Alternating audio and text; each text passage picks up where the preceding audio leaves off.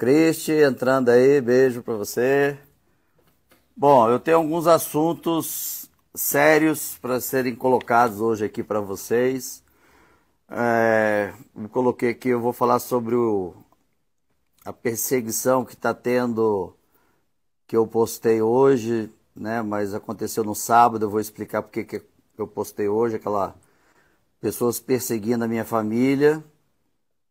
Também vou falar sobre a, a, a abertura da CPMI, vou falar da relatora, vou falar por que, que o Flávio Dino, ministro da Justiça, está com tanto poder dentro desse governo, já descobri.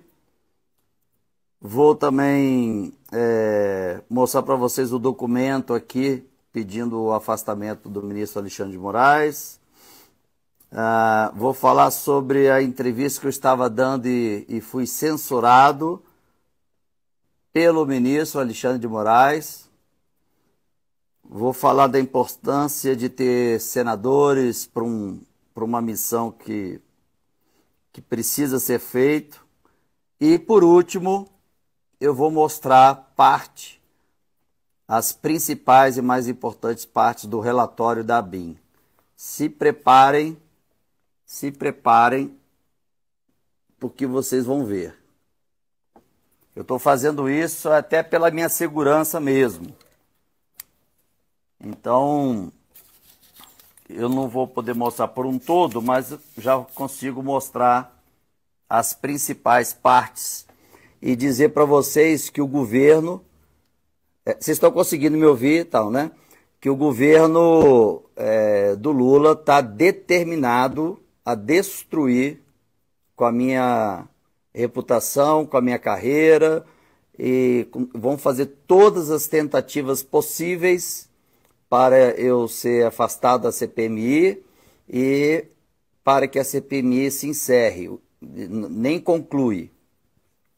Tanto é que o propositor, o deputado federal que fez a, a petição, correu atrás das assinaturas, ninguém questionou que de repente a Polícia Federal requentou uma denúncia que tinha, que na época, depois que aconteceu a manifestação, ele postou nas redes sociais sendo favorável, ou, ou, ou a foto da porta do ministro Alexandre, e a Polícia Federal requentou isso agora. Por que será, né?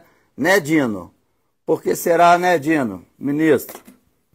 Por que, que será que de repente a Polícia Federal agora, no início, é para tirar a credibilidade dele durante a CPMI? E vão fazer o mesmo comigo.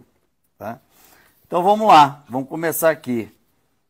Bom, sobre os ataques, a minha honra, como eu disse para vocês, é, é, chegou até a mim, porque eu comecei a levantar essa questão desde sábado, da perseguição que fizeram é, com a minha esposa. Vocês viram aí que eu, eu postei é, nas minhas redes. Ela desesperada, com uma pessoa estava já seguindo ela alguns dias. E aí fui em busca de informações. Como eu disse, a sorte de ter sido instrutor de policiais há 30 anos. É, as informações foram chegando e o que chegou de grave é que o ministro Flávio Dino está tentando fazer alguma coisa Ainda não dá para dizer com certeza o que, que seria, mas é contra mim e contra minha família, com o objetivo de me calar, me tirar da CPMI é, e tudo. E tá, tá, tá o governo junto, o Lula junto, enfim. Então é, é preocupante. O governo. É... Pessoal, a gente pode parar aqui para fazer um comentário sobre isso, né? Isso aqui que o senador está dizendo, né, o assassinato de reputação, isso não é uma técnica nova, tá? É, é uma técnica muito usada por advogados quando tem um caso na polícia, e é uma técnica muito usada na política brasileira, na política mundial, né? A técnica do assassinato de reputação. Você não tem como é, argumentar os argumentos da pessoa, você de, destrói a pessoa né? Você tenta tirar a credibilidade da pessoa. Então, às vezes, essa tentativa de assassinato de reputação, ela mostra a você que alguém está certo, entendeu? Então, quando você tem um governo que quer destruir a reputação de alguém, muitas das vezes é porque esse alguém está certo. Então, ele não tem como argumentar os argumentos, ele tenta destruir a pessoa. Então, isso aqui é importante, porque é uma coisa que é notório, todos nós sabemos que isso acontece. Tentaram destruir a imagem do presidente Bolsonaro, assassinato da imagem dele, do presidente Donald Trump e de todos que se levantam contra o sistema, tá? Qualquer pessoa que se levanta contra o sistema, é, existe isso aí. O Marcos Duval, ele, já como eu falei, o nosso, o nosso ponto agora é apoiá-lo e dar força para ele, porque queira ou não, ele está fazendo uma coisa de muita coragem, né? Ele foi um dos únicos que foi visitar as pessoas presas e ele é um dos únicos que está batendo de frente mesmo, sem medo do que pode acontecer com ele. E todos nós sabemos que ele pode ser preso a qualquer momento. Nós sabemos disso. Porque o mas quem é que não tem, não tem, não tem mais negócio de justiça no Brasil. Hoje eu falei para as pessoas de manhã que o jornal dizia que o Brasil está com uma, uma democracia é, é suave, né, é, estável. Não, não foi a palavra essa. Como se tivesse uma democracia que estivesse mais ou menos, uma democracia boa. O Brasil está com uma democracia em coma. A democracia do Brasil está em coma e talvez não desperte nunca mais. A gente não sabe como é que está a democracia do Brasil. É, tentou de tudo, ficou claro para vocês a interferência dele na relatoria, né, na, na, na mesa, só tem base aliada do, do, do, do governo, quer dizer, é, assim, não precisa dizer mais nada da culpa que eles têm. Né? Eu vou mostrar para vocês depois o relatório, está aqui comigo, ó. Eu vou mostrar para vocês depois o relatório, as partes mais importantes, vocês vão ficar de queixo caído. Bom, é, eu estou me embasando até para falar com vocês sobre isso daqui. Ó. Eu vou virar aqui a câmera. Ó. Então, em cima da Constituição, artigo 53, os deputados e senadores são invioláveis civil e penalmente por quaisquer de suas opiniões, palavras e votos.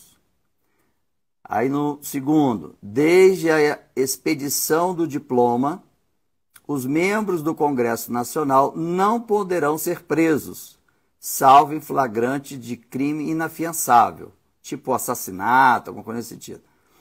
Nesse caso, os autos serão remetidos dentro de 24 horas à casa respectiva, ou à Câmara dos Deputados ou ao Senado, para que, pelo voto da maioria dos seus membros, resolva sobre a prisão. Tá? Então, outro, outra parte. Os deputados e senadores não serão obrigados a testemunhar sobre informações recebidas, é o relatório da ABIN, ou prestadas em razão do exercício do mandato, nem sobre as pessoas que lhe confiaram ou deles receberam informações. Então, aqui está. Tá, então, em cima da Constituição, e, e, e eu fui ler uma parte interessante que que o próprio Ulisses de Guimarães ele escreveu, e eu até postei isso agora, que eu postei assim, ó. Eu postei, eu até perguntando ao ministro, ministro Alexandre de Moraes, é lícito descumprir a Constituição com o argumento de que se faz para protegê-la? Então não faz sentido, né? Esse, esse que ele está lendo, Marcos Duval está lendo, foi o que o New York Times aqui nos Estados Unidos questionou, né? Eles questionaram aqui nos Estados Unidos que o Alexandre de Moraes está lutando contra é, a, as coisas erradas, né? Mas quebrando a própria Constituição para fazê-lo. Então, um argumento que o New York Times tinha era: vale a pena rasgar a Constituição para proteger a Constituição? Porque esse é o argumento. Tá ó, oh, estou rasgando a Constituição, mas é só durante essa semana, depois a gente volta ao normal. Foi o que aquela o juíza falou, né? Então é complicado tudo isso. E aí, como disse aqui o Ulisses Guimarães, numa reportagem que ele deu na época do, da, no discurso dele, ele fala assim, ó, quanto a ela, né, a Constituição, discordar, sim. Divergir, sim. Descumprir, jamais. Afrontá-la, nunca. Traidor da Constituição é traidor da pátria. Conhecemos o caminho maldito. Aí ele fala: rasgar a Constituição, trancar as portas do parlamento, garrotear a liberdade, mandar os patriotas para a cadeia, o exílio e por o cemitério. Aí ele encerra Ulisses Guimarães falando: a persistência da Constituição é a sobrevivência da democracia. E é nessa parte ele fala uma questão importante: o traidor da Constituição é traidor da pátria. Então, me embasando nisso, né? É, bom, deixa eu mostrar aqui para vocês o que eu estava falando sobre a mensagem que minha esposa ficou mandando no sábado passado, e aí eu comecei a levantar quem que poderia estar tá fazendo essa, é, essa perseguição, né? Ela fala que já é a terceira vez, mas agora ficou bem claro e tal, tal, tal, tal, tal, tal. Ó, eu estou sendo perseguida e tal. Eu falo, come onde? Eu fiquei preocupado, né? Então, é, a situação não tá, não tá, não tá fácil. Vocês não imaginam a pressão que está sendo. Ela, claro, está é, é, muito preocupada, né? Lógico, a família dela. É, enfim, gente, é, não, não, não é fácil não. Não, não é fácil. Bom, e eu estou gravando porque isso pode, né, fica aqui, eu espero que vocês compartilhem para o máximo de pessoas possíveis, para quanto mais gente tiver acesso às informações que eu vou passar aqui, vai ser melhor.